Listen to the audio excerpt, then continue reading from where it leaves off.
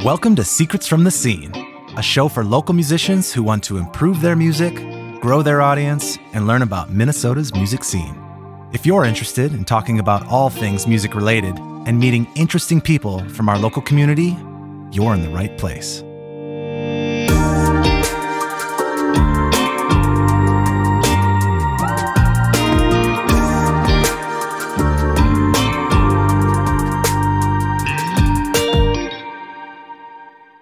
Welcome to Secrets from the Scene. My name is Stephen Helvig and I'm your host. On today's episode, I have Landon Conrath, and I'm so excited to have him here today and to pick his brain about the last five years.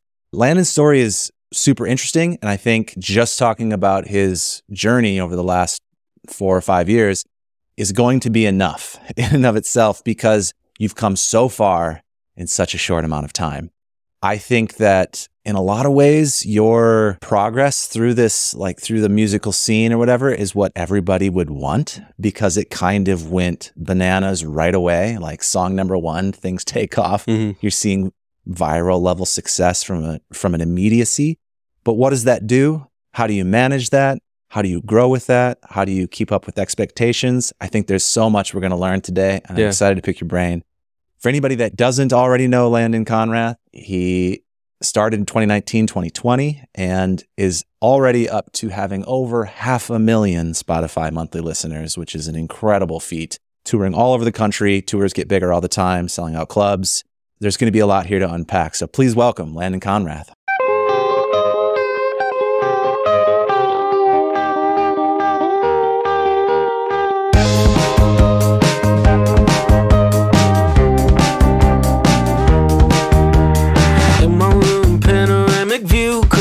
Heartstrings. Sundays out, covering my face with the top sheet. Burn it down.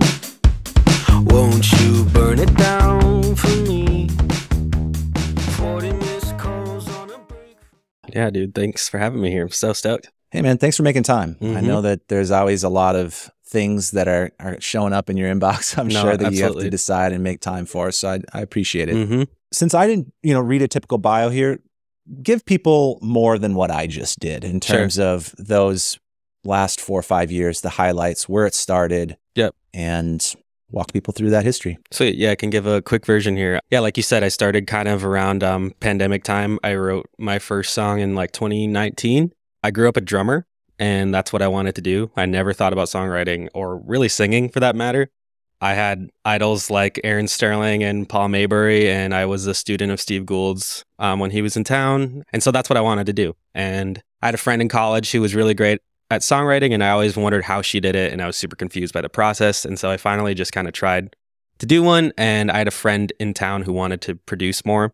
And yeah, so we met up, put the song out, no expectations. I kind of had a weird time with the process it was hard for me to fork over creative liberties for the first time. Like he came in and changed the song a lot, and it was uh, jarring at first, but put out the song and it did pretty well, and we were con- kind of confused by that, and so we just kind of kept going.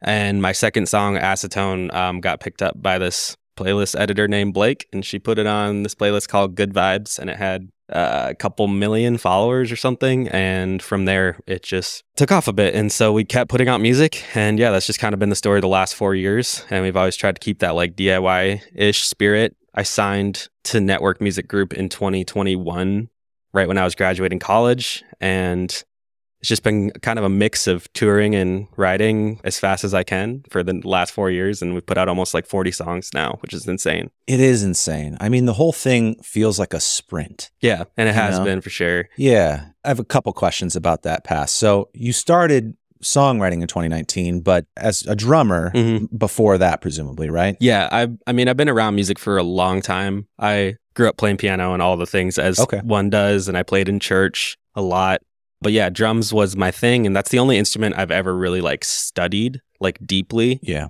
Like I was in jazz in college and that was like my whole thing. Like I loved that and I spent so many hours on it. So that's like the only instrument I'll tell people that I'm like good at. Like everything else is just I'm winging it. As you're on a full tour as a guitarist. Yeah, it's scary, but drums is my thing for sure. Yeah. Yeah. When did guitar start being in the picture?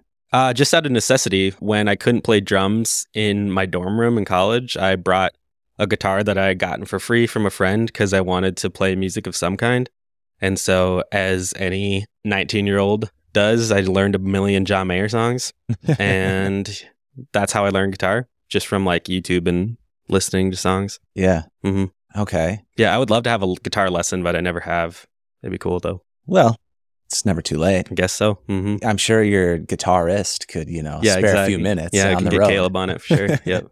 Yeah, exactly. Like give him a little outline. Here's, Yeah. Here's the syllabus for this Yep, semester's tour. exactly. I'm trying to learn something. yeah. Mhm. You grew up with musicians in your family. Yeah, kind of. My grandparents on my mom's side were extremely musical, like choir directors and music teachers. Okay. And my mom was kind of a musician by proxy, but she is like she taught math at a college in town for 30 years. Like she's more that side of things, but she was a cellist and things like that. So it's like Yeah, yeah. music has been around me for my whole life, but like my sisters aren't really musical and my dad isn't. So I was kind of the only one in my family per se, but my family as a whole is very musical. Like singing is a big part of like our gatherings and things. It's kind of funny. Like we sing around the table and stuff. It's weird, but Well, I, think that that explains a little bit of how easy it's been. uh, And I guess maybe easy is not the right word Sure. to say, but that you've picked up everything at a very high level sure. fairly quickly. Yeah. You know, in terms of, yeah, I started playing guitar and then pretty quickly I'm a guitarist. Sure. and like, you know, I started writing songs and then immediately that was great. And, Sure. you know, I think a lot of that can just be innate, hmm but having those influences around you, Oh, absolutely. you know, that gives people a head start versus like, I want to start to do this. no, And, you know, absolutely. that- yep. Church is a, always a breeding ground for that stuff Yep. too. Mhm, there's I know a weekly, you're always having some exposure to it. That story is familiar to Yep. a lot of local musicians, especially. Okay, so you're studying drums. Then was that you were a music major? No, I was. I actually graduated with a computer science degree of all things. Oh, okay. That was just jazz was like an elective, I guess. It was a course that I took. I don't know if you're familiar with the director at Bethel. His name is Jason Harms. He's kind of been around the Minnesota jazz scene for a while. He's super great. I learned a ton from him. I just like specifically on he really emphasized like how to make the process enjoyable and how to like find pleasure in the work of it all. That was like his big thing. Say more about that. Yeah, his I mean, that was kind of his quote. He's like, How do you find pleasure in the work? And so like he really turned me on to like just really practical things. Like one of the best ways to get better at music is to listen to music. And he would say, like, this is your work, like go take pleasure in it. Go like ha- listen to like your homework tonight is to just listen to this album. You know, he'd send me like a like Sinatra Live at the Sands is like mm-hmm. a super famous big band record and it's like a prime example of just a band that's like swinging super hard. And it was just like I don't know, that's where I learned how to kind of glean the right information from music and like how to take things that you hear and put them into your playing. Mm. And he was just good at like pointing out things that I was missing. Like when I first came in to playing jazz, I had been playing CCM church music mostly on drums. And so I had like a really heavy right foot. And he right away explained, like, here, listen to how Tony Williams and the Miles Quintet, listen to how he has such a light touch with that. And he was just good at like showing you how to take bits and pieces from other people's stuff and put it into your own playing. hmm So he was just great at that. And he was great at explaining things. And so I don't know. I, I really enjoyed my time with him, but and you finished your degree at Bethel. I did. Yeah. Yep. Yep. My mom worked there. I Hmm. never wanted to go to college when I was in high school. It wasn't on my mind. I went on tour, like I was mentioning, with Harbin Home right out of high school. And I was like, I'm going to be a rock star. Like, screw this. I'm not going to college. And then after tour, you get dropped back at home and life is normal again. And you're like, well, what do I do? Twiddling my thumbs. And like I said, my mom worked there. So it was like cheaper tuition. So I was like, you know what? I'm just going to go and do my time. And yeah, music didn't really start till like my end of my junior year of college. And Okay. then it kind of took over, but and I that's finished sort it. of when you started the songwriting thing. Yep. Yeah. Yeah. Okay. Well, let's talk about that Yeah. moment. You have some talented friends around you. Yep. One is showing you how to write songs. One is uh, offering production skills. You Yep. know, again, perfect storm at Mhm. perfect time. But you also had to bring all that idea and energy and vulnerability to the process. From those first times when you're stumbling through a DAW and you're figuring stuff out up till now, how does that process look like for you and how has it changed over the years? Sure. Well, I like started producing, not really producing, but like I recorded drum covers a bunch when I was like in high school and honestly late middle school. I have to give massive credit to my parents for like basically starting my career because I mean, we were a family that like for Christmas and birthdays, it was like gifts were never above like thirty dollars, things mm. like that. And for in eighth grade, they bought me a laptop, which was like insane, and I was like mind blown. And that was the first time I was able to start recording things because I bought like a the worst four channel interface I could find. And I scoured Facebook Marketplace, and I remember I bought three fifty sevens from a guy for like ninety dollars or mm-hmm. something. And he gave me a handful of XLRs, and I'll never forget. He's like, "Every musician needs some XLRs, buddy. Go record something." And I was like, "Cool, okay." and I'm like in eighth grade, and I'm recording like Relient K drum covers. So that was yeah. the first time that I learned that. And then in college, when I started adding songwriting in, it was always like I feel like my songwriting was very vertical in the sense of in the DAW, I was just making like huge stacks of things and focusing on a five, 10 second loop and then just trying to write a whole song where it never changed. I feel like that's a thing that people, a trap people fall into with modern DAWs now. It's like you make your five, 10 second loop and then you try and just write a whole song over it. And that was kind of my process for a while. And when I started writing songs with Alex, who was the producer that I made all my first EPs with, we kind of took that idea and ran with it where we were making the production first.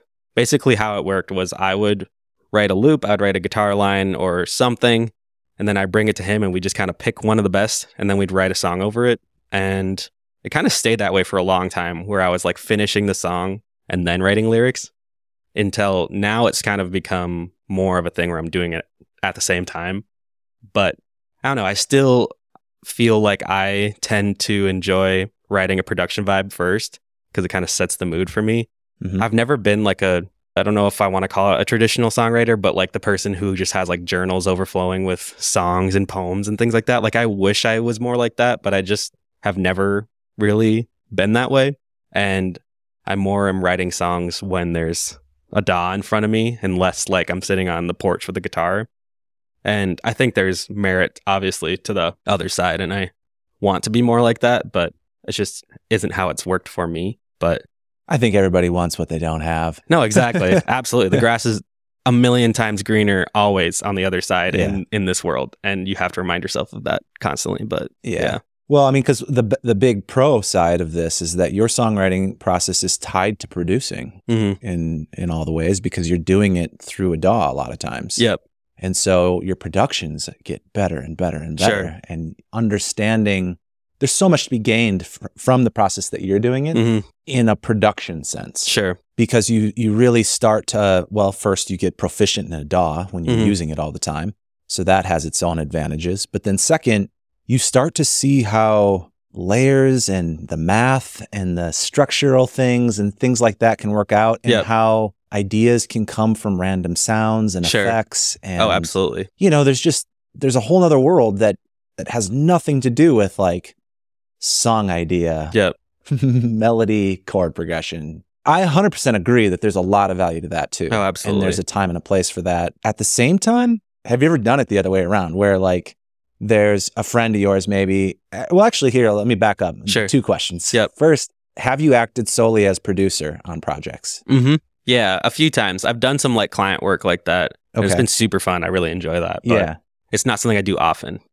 okay so on the client work yeah. have you ever started from where it was just guitar vocal and had to bring it somewhere. Yeah. Yeah, for sure. That's like an exciting but also scary thing because most of the time when people come in with a guitar and vocal and they're like, "Yeah, I don't really know what I want." They do actually know what they want. They just don't know how to say it. And every time you try and give something, a lot of times it's like not right. And so Mhm. sometimes that can be tough to find what someone's looking for. But it's a good challenge. I I really would like to do more production work like that, more client work. I feel like that's kind of like where I see my like life going yeah because I don't want to I don't want to tour for 40 years. You know, like I don't want to do that. Like I'd love to be able to just kind of fall into something Yeah, like that more, but it's like an exciting and scary thing when people just come with nothing and you're like, "Okay, what are we doing today?" You know? but it like, can but it can be very difficult oh, absolutely. to figure out what those soundscapes and things are versus if you're writing over them Yep. you can marry it i think a little bit e- Sure. to me it's easier to marry it that way than it is to go the other way around Sure. unless you're very much in your niche Yep. Like, you came to me no, i make this kind of thing and i can keep making this kind of That's thing when but I that's when I like it. Yep. yeah but if you're trying to figure out what their thing is Yep. man that's hard Mhm. I've done that plenty of times. Yep. And there's been projects where I've literally just been like, you should just get Logic Sure. and make stuff. Yep. And then I will come in and help We can elevate it. like, elevate yeah. it and fix it. But like, I can't make this from scratch for you perfectly in your vibe. Like, it's just never going to happen. It's not true. It probably could, but it just wouldn't be time efficient at all. Yeah. But okay, yeah, that's that's all super interesting. The other question that I had was when I look through your songs and listen to your stuff, you know, I'm a producer, so I'm always clicking on the credits Yep, and like looking yep. at stuff. And oh, I wanted to quickly circle back to when you were referencing Alex. Yes. Alex Kimball. Yep. Yes. Just so that people, if they want to look him up, they can. Yep. He's in town. No, he moved to LA two years ago. Okay. He's doing an artist thing right now and he's crushing it. And he goes by Levi Roth. Okay. So yeah, you should check him out. He's that's amazing. his artist thing, which you're Yeah, saying. yeah, and that's like what he does all his productions under that name now too. It's kind of just Levi like Roth. We'll tag him. Yeah. I'll look into it. I mean, I'm well, so I, I'm going through all the credits to get back to what I was saying, and you're collaborating a lot. Talk to me about that. Like, obviously, we know how the first one started with Alex, of like a friend wanted to do it. I'm a huge proponent of collaboration. I think it's great. I think it yields better results Oh, more times than not. Yep. But walk me through how that's how that process has worked because you did openly say like right away it wasn't great Yep. But you've continued on with it. Yep. So clearly it's something that you have come to enjoy Yeah. or appreciate or respect. and value. Or what, yeah. Yep. But you've also worked with a lot of different people. So I guess there's two questions is how, how do your collaborations typically work? And then how do Mhm. you continue to find more and more collaborators? Sure. I feel like it starts with me signing to Nettwerk and then that opened up the weird magical curtains of the music industry. And all of a sudden it's like, whoa, people want me to go to LA and they want me to do stuff. And it's like, wow, this is so glamorous. And then you realize that it's actually just whatever. And you're sleeping on your friend's couch in Hollywood and it sucks actually kind of. But that's when I started to collaborate more was because the label was like pushing their producer friends on me Got it. and my A&R set up a bunch of sessions and I being the wide-eyed 21 year old who just signed a record deal was like super down to try everything and I was like yeah let's do it so I would go on these two week trips every few months to LA and I would meet someone new every single day and it was like the speed dating session thing which is really common there and it, it's so tiring because you have to basically every single day you show up to the session, you like give them your life story and you talk about your life for like 45 minutes to an hour. And then you try and write a song and you try and have it done by the end of the session. And it's like you're coming off of sleeping on a floor. You're not really eating healthy because you don't have like access to like a kitchen or groceries. And you're just like spending a million dollars to like eat food and transport yourself around the city. And it's just tiring and draining. But I met a lot of amazing people but there were so many other things in that where the industry does a terrible job of communicating things like how does a producer agreement work? How does a contract work with like how much you're paying for this? No one talks about money in the beginning of a session because I can see both sides because a lot of times you make songs with people and they don't end up going anywhere. hmm But when they do end up going anywhere, all of a sudden it's like this producer has your song in a little cage and they're like, all right, you owe me $4,000. And you're like, okay, well, I didn't know that when we started, but I want to put this song out. And so you have my song hostage. I remember Right. there was a specific producer um, that I was working with. And I didn't know what his rate was, as per usual. And my management back then was fine, but they did kind of a bad job at keeping me in the dark with that kind of stuff, even Yeah. though they're spending my money. And yeah, so we finished the song and I was like, okay, like how do I get this guy paid out? And they're like, oh yeah, so his rate is 2500 and then 500 for the mix and then he actually has a studio charge date of 500 a day for his studio. And I didn't know that. And I had scheduled two extra days with him to go back and just like work on the song because I ha- was having a lot of fun with him. And I was like, this is gonna be fun. Like, let's do two more days. Right. I didn't know that was gonna cost me a thousand dollars, you know? And it's so it's like all of a sudden this song cost four grand or something. yeah. And it's like, okay, well, that's like a huge chunk of my advance for one song. You know, Right. it's this weird thing with collaborating where it's like when you don't know what people are like or what their rates are, and it's like this weird hidden thing where people don't tell you their rates until the very end. And it's like, Yeah. here, my manager's going to hit you with the invoice. Okay, I guess I'll wait and see what it is, you know? So that's something that I've learned now Just to ask up front kind of thing. yeah, and or just working with people who I know. You know, like I've started to do way less of the speed dating or like blind session thing. Yeah. I don't really do that anymore. I kind of have a group of people now, But when I was doing it back then, it was just like, yeah, I was just trying to meet people. My A&R was just put me in sessions. Yep. And that was just what we did. But now I have a new manager who's really connected, has an amazing cohort of people. And we've kind of just found the people that gel the best, people who are what I think is like fair pricing, things like that. And so, yeah, we're working with them and it's great. And I have probably like five to 10 people that I'm like, yes, let's work together. But I always love meeting new people. And so when I can, I'll still do those, but not as often for sure. Yeah. But yeah, that was the, the start of it was just figuring it out. And I was promised the LA experience, you know, and that's what it was. So, Now that you have your, you know, close knit group of people, mhm. how do you deal with the money side of that in terms of like paying for services versus sharing ownership on stuff? Yep. I have found in the last two years that the least stressful and the best for my relationships, or like the best way to talk about money that saves relationships, is to not be involved into the, the discussion and let my manager take care of that and do Sure. that side of it. I just pay the invoices. He sends it to me. I do the wire transfer. That's how it like ends, you know? And so I'm not bartering. I'm not doing things like that. He's the one going to bat in the email threads. And it's usually it's funny because like another weird part about music is especially with money is that the two parties who are exchanging money are never talking to each other. It's always their representatives that are talking to each other. And so it's just weird. And there can be weird tension between your representatives that transfers to you, even though you're BFFs with this person or whatever, you know, like right. you're just hanging out. But then it's like, oh, there's weird beef between our managers because they wanted more money than we wanted to spend. It's funny how that all works, but how often is that happening after the fact? what do you mean? Like the song's been done, now we're talking money, or is it always before you? Oh, it's always after, which is the weirdest That, part. that to me is so strange. yeah, Why not just do it before? because you don't know if the song's going to get finished. And that's the weird part is there's no like rate for hanging out. You can't put a price on just hanging out with someone.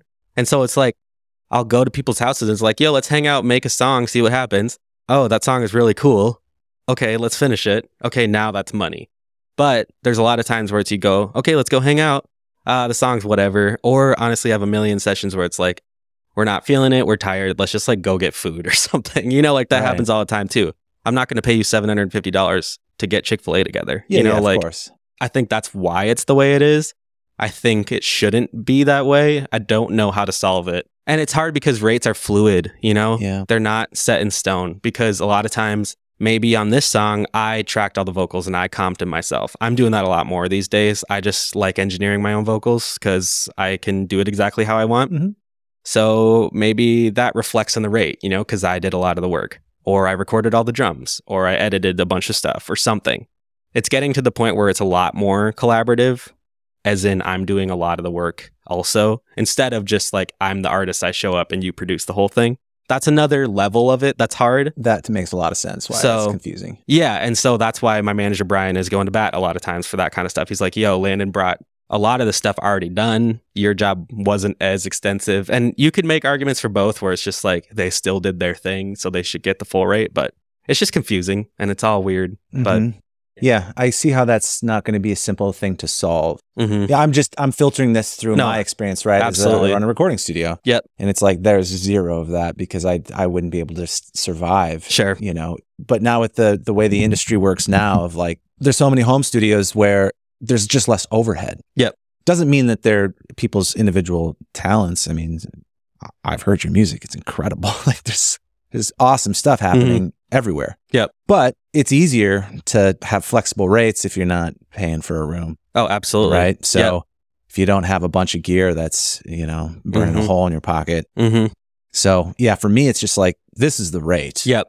And I will do everything. If Yep. you want to do something, by Yeah. all means, Sure, sure. go ahead. Yep. But this is the rate. Yep. No, absolutely. You know, we can do that. I've had situations where it's like, I didn't have to do as much on this. So let me make it up on other, like, why don't we throw an acoustic version in? Sure. Or, Cool. well, we'll make more content for you, or we'll do something, you know, Yeah. like we'll go over the top because you provided more. Yeah. The conversation comes up more for me too, where it's like, hey, I think I can do guitars and bass and maybe some of this stuff at home. What's your rate if I do half of it or whatever? And I'm like, we could, or we just fine. We'll just have a better starting point. We'll put Sure. more time into making it even better. Yep, you know, yep. like, but my situation's very different. Sure. And everybody's is. Yeah, So, I- but I get it. But yeah, I think, oh man, I, that would stress me out so much. Yep. To just be like, well, I did all of this. Now let's negotiate the price. Yeah. Oh my God. No That's way. why I can't do it. Have removed myself from the conversation I more would, or less. man. Yeah. Oh my God. but, but, okay. But a lot of people don't have managers. Yep. They're not in the position that are listening to this podcast going, well, I can't do that. And a lot of people are just going over to friends' basements and collaborating and hanging out and that kind of mm-hmm. thing. And then there can be this weird ground. Yep. Ultimately, I think we just have to do our best to be as transparent as possible. Yep. And if you feel like, hey, this is developing into something, just try to have the conversation earlier of like, I want to Yep. make sure that you're compensated and you feel like you're getting paid for your time. Yep. And try to do it earlier if you can. Yeah. Because I, I do think it's it's harder, Oh, absolutely. especially once the song is out. Yep. Especially if it gets placed on a Spotify playlist. Yep. Like, ah, man, that gets really complicated. So do your best. Yep. Obviously, if you're going into more of a traditional studio like mine or others that are in town, there's usually just a set rate. You're just paying for hours and you're going.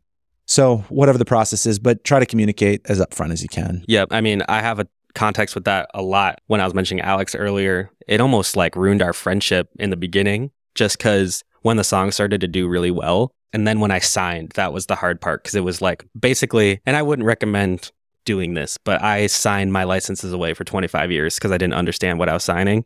So they bought out my catalog, which means that all of a sudden Alex wasn't getting his 50%. Because how we were doing it was I was just giving him a 50 50 split on the master and I was paying him for the mixes. Mhm. But as far as production fee and everything, we were just doing it collaboratively and we just split the master. Yep. And so all of a sudden he's not getting his master split anymore and he's just getting a flat payout from the master buyout. And it was just like a it was a tough conversation and like you were saying, just have the conversation early and I think with friends and if you don't have $2,000 lying around to give someone for a production fee, I think the master split thing works really well and everyone feels like they're getting a piece of the pie when it's like, okay, we are just getting paid based on if this song does something and it makes people put more effort into it when it's like, okay, we need this song to kind of be successful. I don't know. There's a million different schools of thought there, but I think that's a, a decent one for people who don't have the like capital to give someone thousands of dollars. It's like that's a way that you can show them that you value their input to your music and things. I don't know. That worked for us, Yes. but yeah, it was hard for sure. Yeah, it.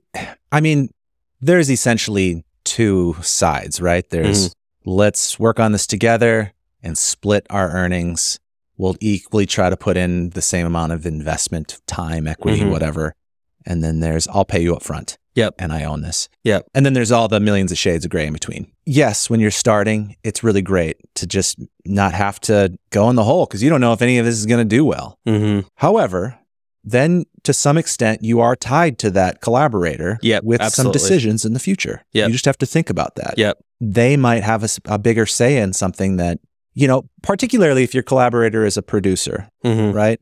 And you're the artist, you're the one who's going to try to get this thing promoted. Yep. The producer may not do any of that. Oh, absolutely. And so then if they're holding back something that you want to do, Yep. that can be frustrating. Sure. And that can be really where you go, I wish I would have just paid for this up front. No, and I had that conversation and that thought the exact same thing. And there's a quote from Steve Albini when he's talking about the um, Nirvana record that he did, and they wanted to do something with like master splits or something. I can't remember exactly what it was, but he sent them like a handwritten letter or something, and he's like, "I want you to pay me like a plumber," and that's what he said.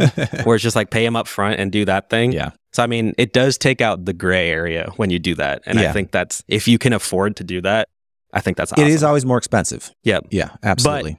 I I look back on that all the time, and I'm like, man, I don't know. I probably couldn't have pulled the money together as a college student, but if I would have, I mean, I would have made way more money down the line. But I don't know. Hindsight's 2020. it is. I'm not bringing this up to say there's a right or wrong way. We Yep. both know there's not. Yep.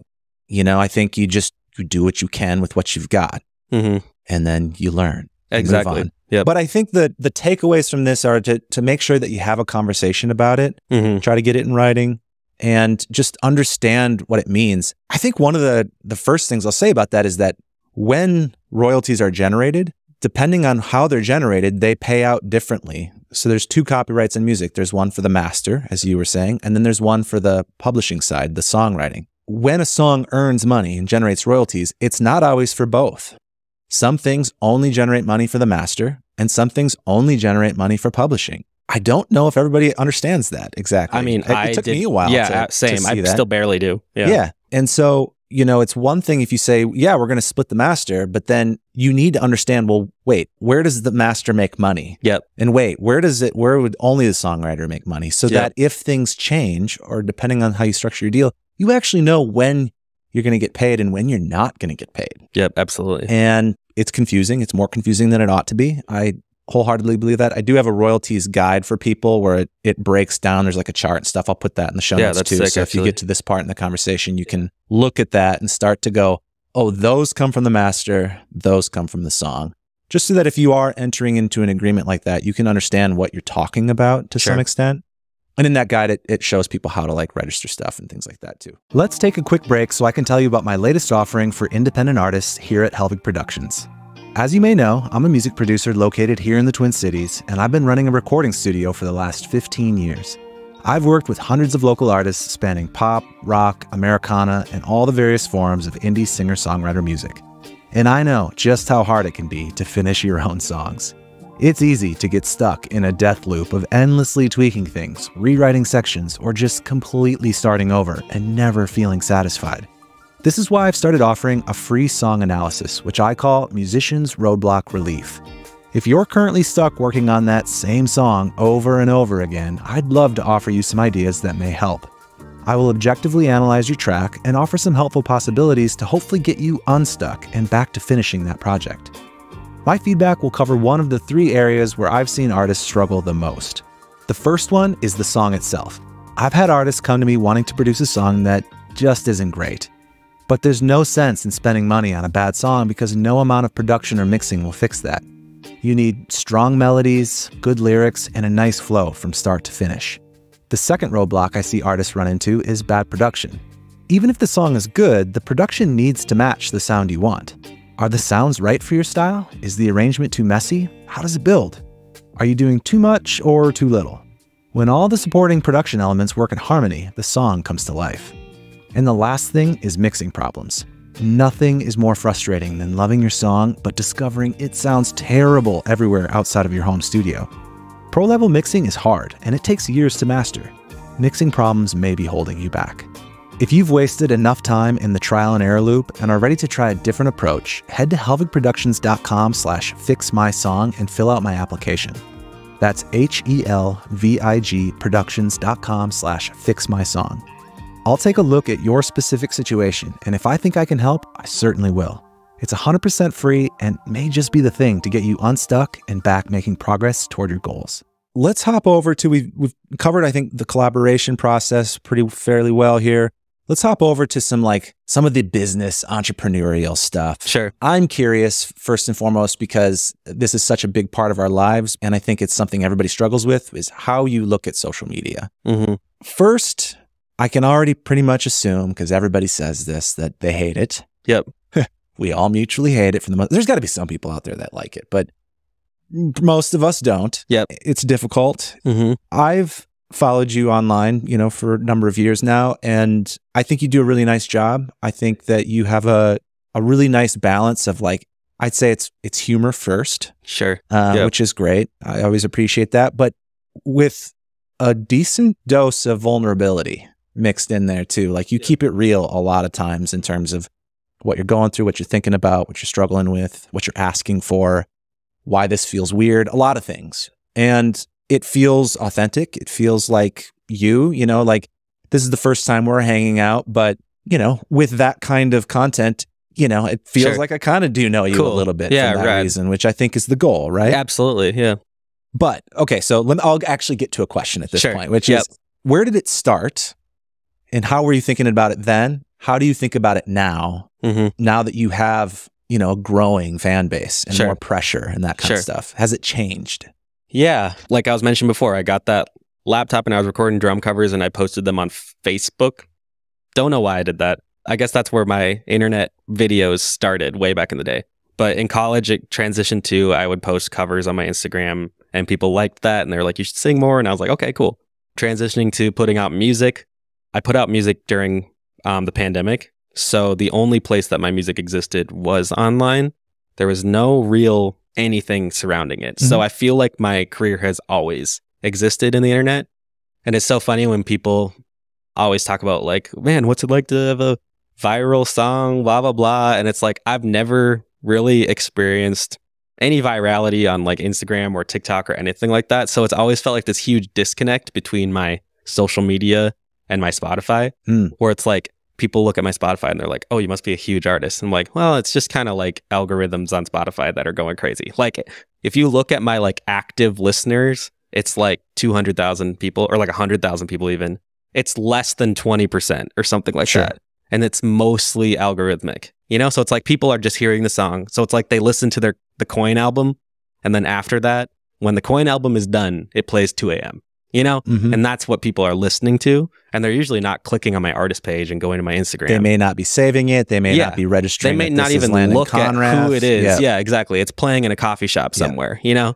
And so it is funny when people think that I have a huge social media following. And like after five years of posting online, I just cracked 10,000 followers, you know? And that's like considered small Yeah. in this It is, world yeah. of I mean, it's still social media. deal. Yeah. Oh, it was it was massive, and I was like, wow, that's insane, and it was weird. But I think how I try to look at social media now, and I thought it was funny how you're saying there probably are people out there who like it, and I know there's at least one because this guy changed how I think about social media. Um, Ian Allison. Yeah. I'm sure you're familiar. Yes. Um, he was someone who I was fortunate enough to spend a lot of time with when I was starting my music career. Um, we played at church together a lot. Okay. Um, we were playing every single week, sometimes twice a week together um, on Wednesdays and Sundays. And so I got to a lot of FaceTime with Ian and I got to talk to him a lot. And his outlook on social media almost bothered me. It annoyed me because of how positive he was about it. He's also just like positive in general. And it like pissed me off sometimes because I was like, I'm struggling with a bunch of stuff. And it seems like you never are. What's the deal with that? Yeah. And I was like, You actually like Instagram? He's like, Yeah, I enjoy the connection. I enjoy the process of making videos. I enjoy talking about bass. You know, like he just likes that. And something that I gleaned from that was what I was talking about earlier with my jazz instructor is how do you make the process enjoyable Mm. and how do you enjoy the work of it? And so my thing that I've tried to do lately is just do things that I think are funny, like make skits that are fun. And I enjoy like going on a walk in the morning and brainstorming a stupid video. And then I'll get home and I'll write down the script and I'll shoot the video and then I'll edit it. And in 45 minutes, it's done. But social media is still, it's super hard for me and it's super hard to be consistent and it's super hard to like gauge my expectations because at the end of the day, of course, I want to go viral. You know, I can say that I want to be underground and cool and whatever as much as I want, but of course, I want people to come to my shows. I want to sell out things. And it's super hard to sit there and watch your peers have video after video go crazy and you're wondering what you're doing wrong, you know? Because the most like painful part, I think, about the age of social media that musicians are in is that you're always one video away from being successful. Or at least that's what I think. It's the feeling. That's the feeling, you know? Yeah. Like you're one reel away, you're one TikTok away. This one could be the one that flips your career. This song could be the one, you know? And when you think of it that way, it's terrible. It's super exhausting because you put the weight of the world on everything that you're posting. And I've tried as much as I can to get myself away from that and to focus more on just building a community. Yeah. Something that I've started this year or last year, maybe, was Discord Oh, and okay. I've really enjoyed that because it's such a direct community. I can just message people who are directly excited about it because they've gone the extra mile to join this like secondary social media. You know, like they've gone down the rabbit hole, so I know they're excited about it. Whereas Instagram, it's like I have 11,000 followers, but 20 people comment on a video. You know, it's like the engagement is so low on Instagram. Like, I mean, this morning I was looking at this guy really famous Instagram musician. He has almost a million followers. And I was looking at his videos and it's like most of them average like a thousand likes. And it's just like the engagement is so abysmal on Instagram that it's hard to like find a community there. So I've enjoyed that secondary Discord where it's just Yeah. like the people are stoked. And I've always tried to just community first is always my idea. And like when I'm at shows, I want to meet the people. I want to go to the merch booth and like shake as many hands as I can and stuff. And yeah, I've tried to look at Instagram more as a means to just connection with people instead of a means of pushing my songs to the world. And I think that's helped a bit. But yeah, just trying to find ways to enjoy making videos again. Yeah. It's hard.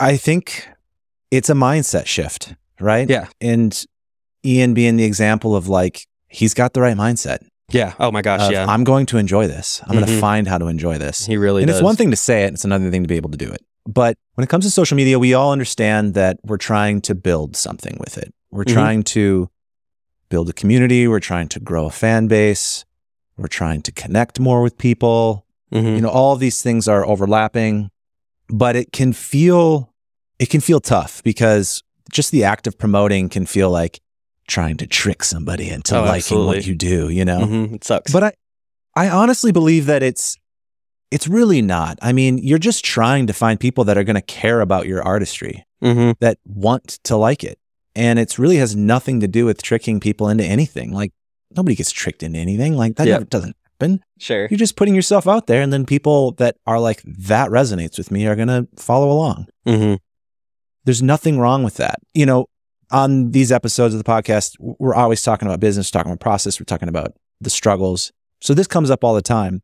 And it's been interesting the amount of people that will shy away from really even talking about like this is what I do to promote Sure. something. Sure. And I think it's partially because just we don't want to be associated with like pushing something. Sure. You know, like as you said, like I want to be underground and it's like yeah. it's no. cool Absolutely. No. It's like- Exactly. you know, the music business is ultimately a popularity contest to some extent, to a large extent. And it's the coolest thing is to be cool without trying to be cool. That's the goal. That's the holy grail. I didn't do anything, man. Everybody just loves me. yep. But I just think that's such bullshit. Yeah. Absolutely. Ultimately, it's just bullshit because really it's just about making it look like either either it's just blind luck, complete blind luck that you have no control over and will go away at some point because you have no control over it. It will disappear. Or you're just hiding what you're doing. Yep. For the sake of making it look cooler. Oh, a thousand percent. Ah, let's we can, we can do better than that. We can just all understand that we're all in this doing the same thing together. It's not about anything more than trying to find our audience. You're trying to find the people that love what you do. I'm trying to find the people that love what I do and so on and so forth. And that's great. Because at the end of the day, that's good for us and it should be good for them. Like let's not forget that. It should be, you know. When I find your latest song, I'm like, sweet. Thank you for putting that out because now I can add it to my playlist. You know, like that's what I'm thinking. Yep. And I I don't see how else you would interpret it. Of like, Yeah. Why is he showing me his? No, exactly, like it's so- annoyed it's by just it. a little thumb thumb flick. If I don't like it, it goes away. It's not a big deal. But yet we can't seem to really get that out of our heads somehow. Of like that, it's just bad to be doing that. And I just think we have to keep talking about it because it's not. And when you see people do it well, Ian being a great example. For anybody that doesn't know Ian Allison, go follow him online. You watch his content and you realize that, like, yeah, this is what it could be. It's simple, it's genuine, it's educational and funny. He strikes the balance of all of that stuff. And what it never is, is feeling like pushy No. or coming off. But it's a lot easier to look at somebody else's thing than to Oh, look at your own. and feel that Absolutely. Yep. And it's also like, I think something that people say a lot is it's like only stupid until it works or whatever. And people feel, people feel weird about like putting high quality videos on the internet or like trying to be like an influencer when the follower count isn't there. Like it's one thing to post like a video like that when you have a hundred thousand followers Yeah. or if you have 200, you know, it like people feel stupid about doing it, but it's like only stupid until it works. I feel like, you know, and then it's Yeah. like everyone's like, oh, how'd you do that? So I don't know. There, there is such a disconnect with it where it's like, yeah, you you feel like dumb for doing it, but everyone's trying to do the same thing. Like it's fine, you know. I don't know. I agree. Everyone is trying to do this. It's okay to try. I think that's the main thing. It's like, it's okay to try and to look like you're trying. Yeah. Oh, absolutely. Yeah. It's okay. If people judge you for that, they're not your people. You know, that's really what it comes down to. I don't know if it's if it's a thing, like if you know, if people get hung up on that, like because somebody po- you know, pointed them out or whatever. I don't know. Maybe that happens. I think a lot of it's just in our heads. Yeah. It's just the fear for sure. that something might come off the wrong way. Mm-hmm.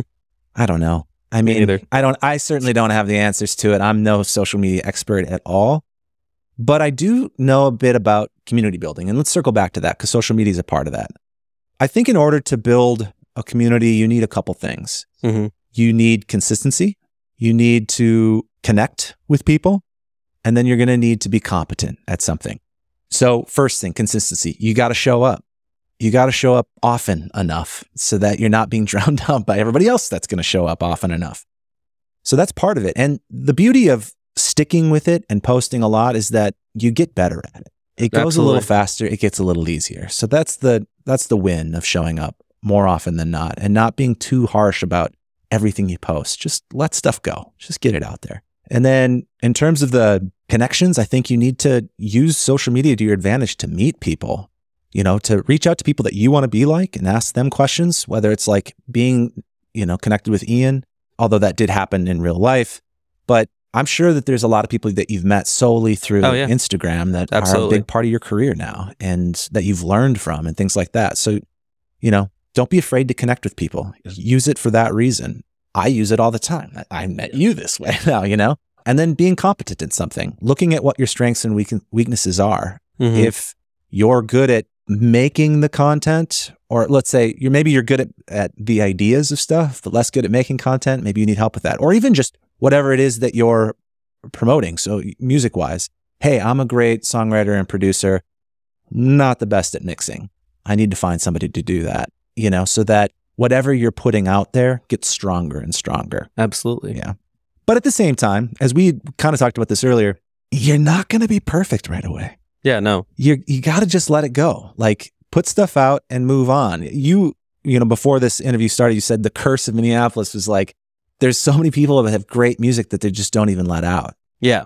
And there is that of like, there's a lot of pressure that we put on ourselves, and social media is a part of that. What was it like when you put out your first song? And follow up question to that What do you think would have happened if it didn't do as well as it did? Yeah. I mean, I was um, lucky enough to put out my first song like right before pandemic. Like this is January 29th, 2020 is when it came out. So like six weeks before the world shut down, I think. So yeah, January 29th, I was still in college and I put out the song and I remember walking around like the common area of the school and seeing a bunch of people listening to it and like people coming up to me and saying that they just checked it out or something. And it was a very like surreal experience of like it existed here all of a sudden. Like it, there was a community already around it kind of. Hmm. And it was like, I think that was what jump started it in a way was it just had like a, a really centralized area that people were latching onto it. And man, I guess I've never really thought about what would have happened if it didn't do well, but I seriously think that I wouldn't really have produced, or sorry, I wouldn't have pursued songwriting as hard as I did. And that's like a weird thing to think about because I don't know what else I would be doing with my life. But like you were saying before we started talking, how you'd be doing it anyways. There was a thing that my old drum teacher, Steve Goold, mentioned a few years back, and he was saying, like, he was talking about like music as a job and how he feels like he's kind of almost cheating because this is what he would do in his free time anyways, you know? And it's like, I think it's the same for me. I think if I really stepped back and looked at my life and was like, if I hadn't been successful in my pursuits of music, like, would I still be doing this? And I think yes, but maybe not to the same extent. And it's like, I mean, I was so fortunate to be able to put everything into it because I released music and all of a sudden the world's shut down. And like, I was able to just sit at home for six months straight and just make music. You know, I had this like, it was literally a perfect storm of it all. So I feel super fortunate, obviously, for that. And I truly don't know if I would have pursued it as hard. But yeah, I think that's something I try to explain to people when they're asking about like how to put music out now in this climate where it's like you feel like you need to build an online following before you release anything. I think it's more important to build like a physical following of like your close circle. Like get people excited about what you're doing initially in your like just friend group. And don't worry about like trying to get a TikTok to go insane. I don't know. Maybe that's bad advice because that's actually maybe what you should be doing. I don't know. But in my experience, it was when I put out that first song, it was very on the ground. It was just the people around me that were listening to it. And it was really cool to like have that immediate community that way. I don't know. I don't think it's bad advice. Yeah. I mean, uh, like a lot of things in life, both things can be true. As we see more and more stuff get released all the time, and more and more people get really great at doing stuff on their own, and just, you know, like to some extent, I, I feel like, and this is a little bit of just my prediction of what, you know, five years from now is going to look like, but I think that we're going to care more about what's happening in our communities because the amount of choices will be so large Yeah. and so vast that don't get me wrong, you know, things that sit on editorial playlists and like these high curated gatekeeper kind of things, like whether it's Spotify or something different in the future, like they're still going to be super popular. Mhm.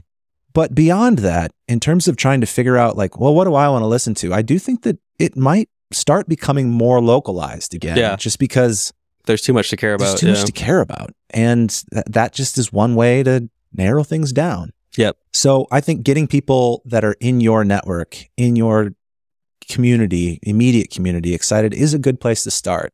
It's also grounding.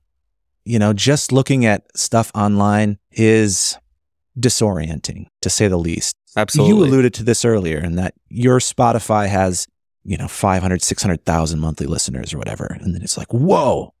But then at the same time, it's like, but how many people are going to be at the show? Or how many people are going to actually comment on this thing that I do or Exactly. stream? You know, it's smaller. It you can't ignore those numbers and they do mean something. They are important numbers. You can't discount them. I mean, that's how a lot of us look at stuff and go like, that's legit. Whether or not that's a good way of doing it, it's what we do now. It's what we do as a as a society. But it can be confusing, especially then, you know, and I'm sure this has happened to you to some extent. Correct me if I'm wrong, but you know, your first couple songs go gangbusters.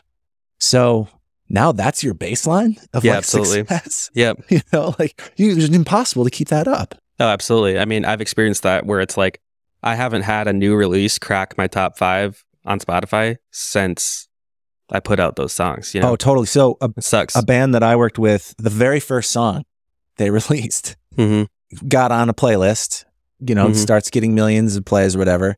Everything they released since doesn't. Everything they've, re- they've released since is better. It's all better.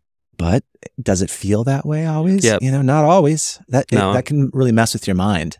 I think that's a huge problem with Spotify and how they lay out the artist page is your most played song is always going to be at the top and so when someone clicks into you that's always the first song they're going to play and it's like hard to find people's albums too you have to like go to like the separate thing scroll down past all the singles and then there's the album I know. you know it's like why are they not just putting the new stuff up top i don't know but yeah it's like 2am has 20 whatever million streams and that's never going to leave the top spot it feels like you know unless something insane happens.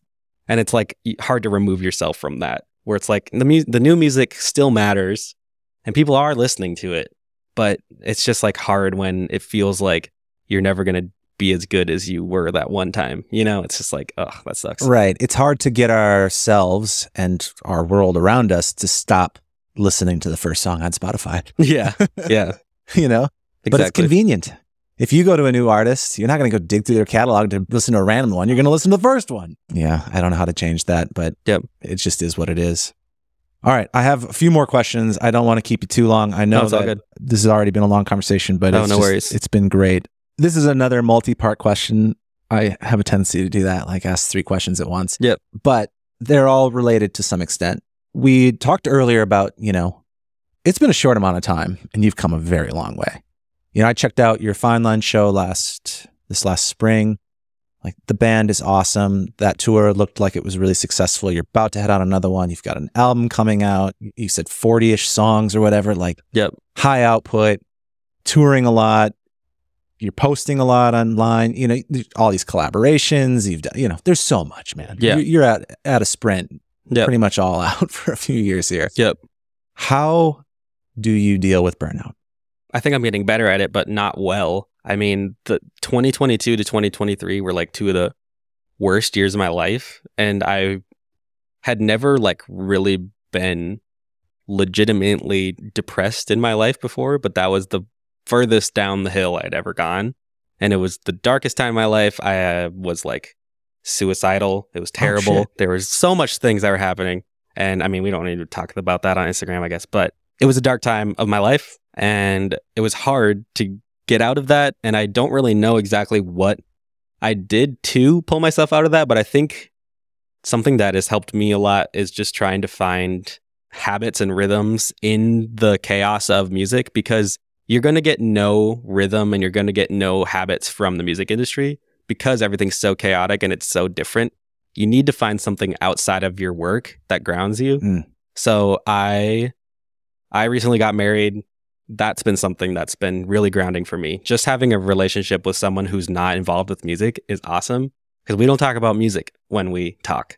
You know, we can have dinner and we can just talk about life Yeah. and we can just hang out. And that's super nice.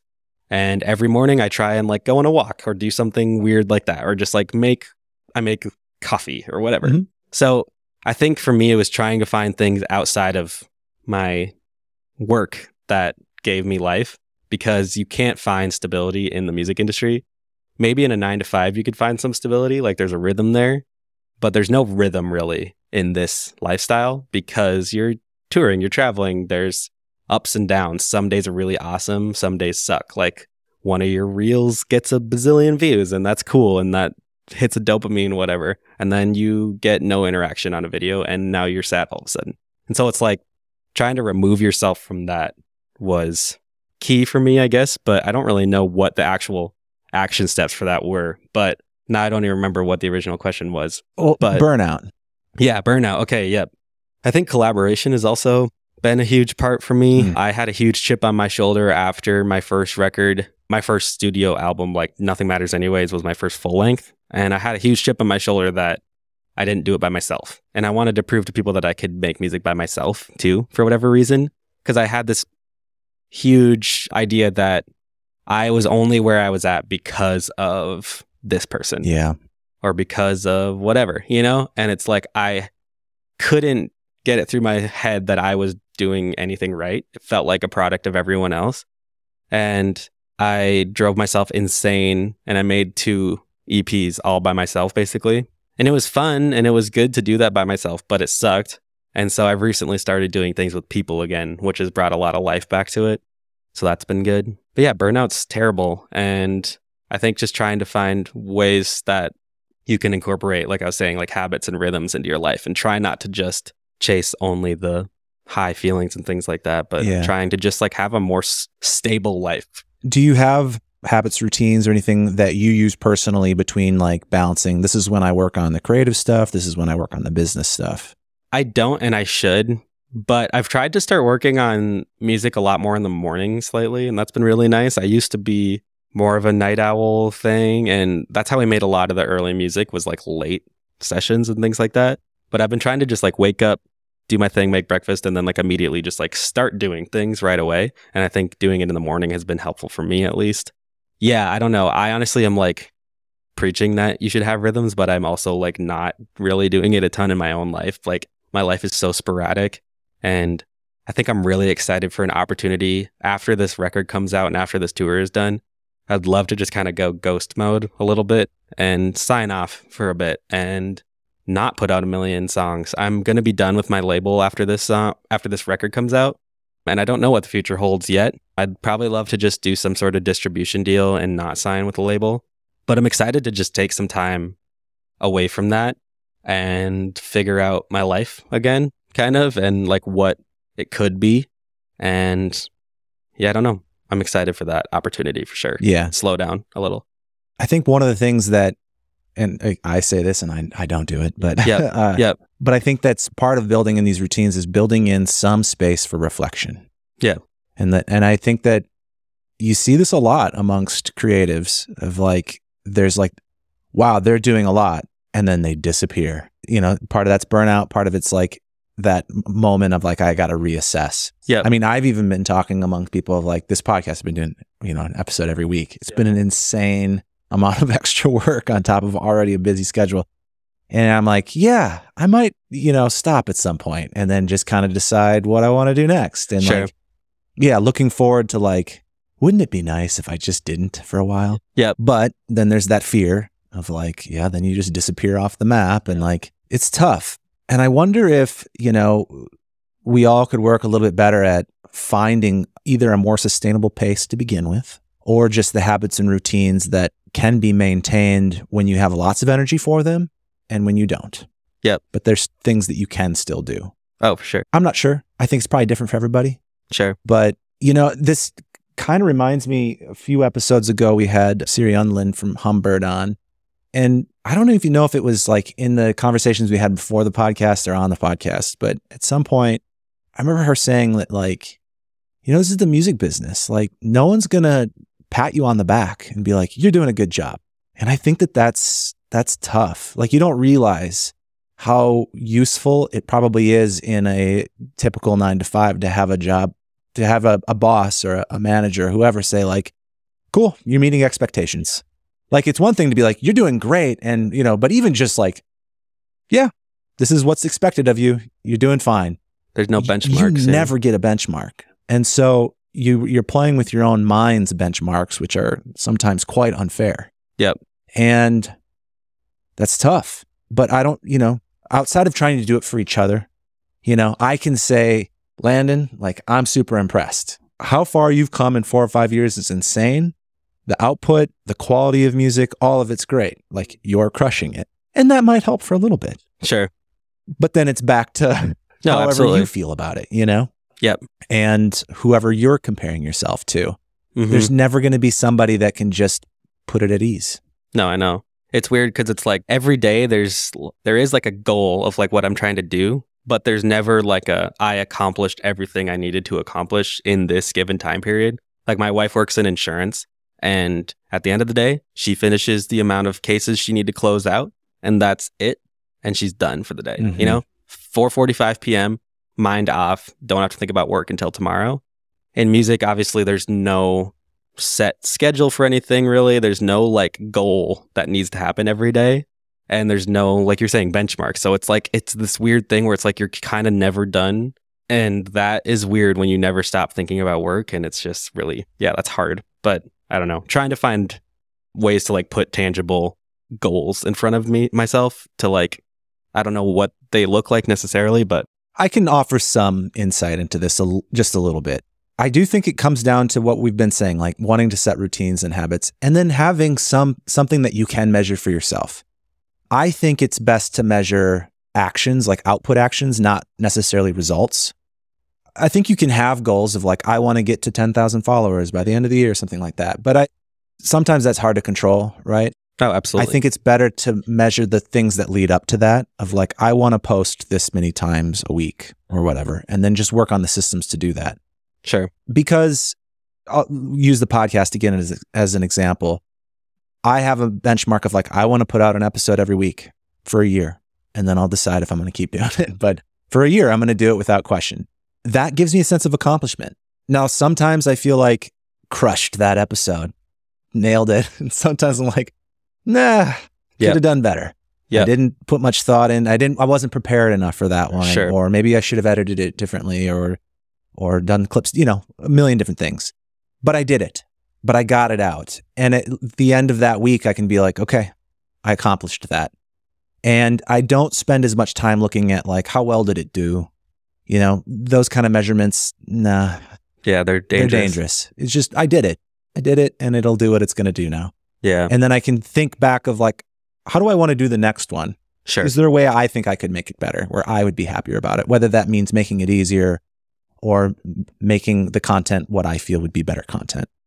So I think you can do those kind of things and those lead to more, you know, hopefully better habits. But it also can be like a mission accomplished. No, absolutely. I did the thing, you know, and sometimes that's like, I want to get an album out this record or this year, you know, and then try not to look so much at the results of it and just more at your own process. Yeah. And then the second thing I would add to that is it's just really, really helpful to have hours. Give yourself hours. I did not Sure. for like a decade. And you know, I'm I'm in my late 30s at this point. So like I've been doing this a while and it's like, yeah, that's really important. I can say that at some point like you do want to just give yourself some hours, some office hours where you're like cuz like you said your wife at the end of the day got these cases closed, done. And then I assume that she's not then checking TikTok and Instagram to see like how her content's doing. No, she- That's not a part of Yeah, her yeah, job, yeah. but for creatives it is. And so even when you're you're okay, I'm done with the studio or I'm done working on something, yeah, but there's your phone that you're always Yep, on Still doing and you can still yeah. check on see how things are performing. Yep. And that's dangerous because you never turn that off. So giving yourself some office hours Sure. to yeah, just be like, I'm out. yeah, I don't check things after seven o'clock. I don't respond to stuff. I don't, you know, not that you're going to be perfect at it every day. Oh, but yeah. even if you are 50% good at it, you will be happy about that. Sure. So if you feel yourself dealing with burnout, these are some things that I think can help where it's like, well, I can't just quit. I need to keep going. Start focusing on your processes and just think of, did I do the process? Don't worry about the results. Make sure the processes are accomplishable, that it's a reasonable rate. And then office hours. Yeah. Check out. I think that's smart. Yeah. Check out. It's okay. The rest of the world does it. And those, those massive 500 Fortune companies, Yeah. they still They're work. still going. Yeah. your career will be just fine.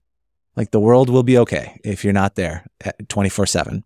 Hard to remember. But But yeah, yeah. easier said than done. But I, you know, that's what the hope is of these kind of conversations that we're, we're hearing them from more people and then we're talking amongst each other and saying like, it's okay to do Yeah, that. absolutely. It's Yeah. okay to do that. The world won't end. All right, man. I, I feel like I've kept you here long enough. I really appreciate all of this. Is there anything that we missed that you feel like you want to throw in quick? Any point that you want to circle back to or anything that I don't think so, really. I feel like covered a lot of good stuff. I feel like that too. And I'll end it with this. At the end of every episode, I ask people to share a secret from the scene. And it can mean kind of a number of different things, but ultimately, I want it to be something that you think will help the listeners out there. So, what's a secret that you'd like to share that you've learned in our scene in the last four or five years? Yeah, wow. trying to think what that would be. Uh, when people ask me about like how I fell into my sound or things like that, or like my production sound, I always tell people to just like double down on like what's available to you. I think is something that can set you apart from other people. For like, for instance, I was a drummer, so the drums were really important in my earlier music. And that's something that people circle back to all the time is like my music is often characterized by fast drum beats or just like the drums are a point of conversation. And I didn't play guitar very well. And so the parts were simple, but they were like effective and they were often super rhythmic. And it was just what I had. And I didn't have an electric guitar when I wrote Acetone. I just had an acoustic. So, like, that was just in the demo. You know, it was like all acoustic driven and drums. And I think instead of trying to match someone else's work, like just double down on what's available to you and double down on what you know how to do. And then try and add in from collaboration the other sides of it that you can't replicate. And I think that will produce something that's more unique than if you were like, I want to make a Band Camino record. A million people are making Band Camino records, you know, and they're awesome, but no one needs another one. So it's like, I don't know, try and double down on what makes you you, I guess. But You know, limitations can be where the best creativity comes from. absolutely. In fact, from a production standpoint, and maybe you know this at this point, I don't know what your plugin library looks like, but or sample library looks like. Oh, large. yeah, but the larger it gets, the more difficult it can be to actually figure out which sound to use. And I've found that the more I can limit my soundscape or my, the tools that I'm using, sometimes the happier I am with the outcome of just like, well, I'm this is the sound that I have, and I'm just going to throw things on it until it works.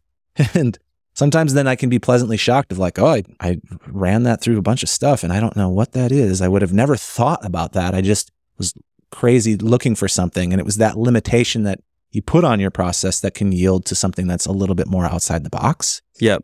Sometimes the limitations can theoretically feel like, well, then I can't do what I want. But Sure. in practice, a lot of times that's not the case. Yep. I think one more thing that I was just thinking about another secret Yeah. from the scene, whatever you want to call it. Try and focus on growing. Surround yourself with your peers rather than trying to break through the ceiling to the next level. I, that was something I took lessons from Zach Miller, who's an amazing drummer in town. Also, that was something that he talked about a lot. Was how he had this idea of like, man, I want to sit in with the greats of the generation above me instead of focusing on building with my peers because one day you're going to be those guys Mm, yeah. that, you know, 20 years later, people are trying to be. And I think there's so much value in just linking up with the people who are directly around you and focusing on building together instead of trying to jump to the next rung of the ladder early. like when I was mentioning peop getting people excited about your music, it's like, yeah, just try and like build directly with the people you're already in community with and try and make it exciting there. And then it can go from there. But if you don't have a solid starting point, you're not going to have, I don't know what you're not going to have, but it's just like having that solid starting point is great. And trying to link arms with the people directly around you, I think was valuable for my career. Like my band is still the people that I played with years ago. You know, like we met when we were younger and we've just gone up through the ranks together, you know? And it was never like I jumped up earlier and, you know. But it also totally makes sense. I mean, you you're also collaborating with other really successful artists in the city too, you know, Mhm. and you're playing shows together. And I think Mhm.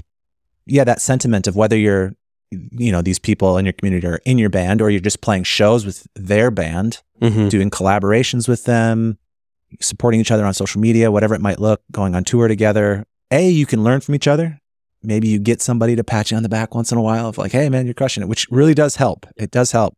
And then, you know, sharing audiences, right? You know, like I know that you you've played shows with Bear and and other local artists that have gigantic audiences on their own right, you know, and all of that helps. And the, the music is, you know, similar enough in terms of style and what people are going to like so you can share audiences and grow together. Mhm. Yeah. Well, thanks, man. Yeah, of course. It. If people want to check you out, where do you like to send people? Instagram, Spotify, wherever you listen to music, anywhere really, I'd be happy to connect with you. I'd love to see you at a show, though. That'd be the best place. Yeah. Hmm Tour coming up this fall. Go check out some dates. And when's the full record drop? Yeah, October 18th. Okay. Yep. It's called Employee of the Year, and it'll be out. I look forward to it. The singles that are out already are great. I haven't heard anything bad. So keep it up, man. Just Yeah, keep it up. Take care I'll of yourself. Yep. Uh, good luck on the tour. Good luck with the next release. And thanks again for doing this. For everybody that listened, thank you so much for sticking around. I hope that you got as much as I did out of this conversation. I loved all of it. If this was helpful to you, then please consider leaving a rating, you know, following, subscribing, doing all that kind of stuff. It helps the podcast keep going. But more than anything, share it with somebody else that you think might gain something from this and continue the conversation amongst the people that you're involved with. Continue building your own community and connecting with more people. It makes the whole scene better. So thanks for listening. I'll see you next time.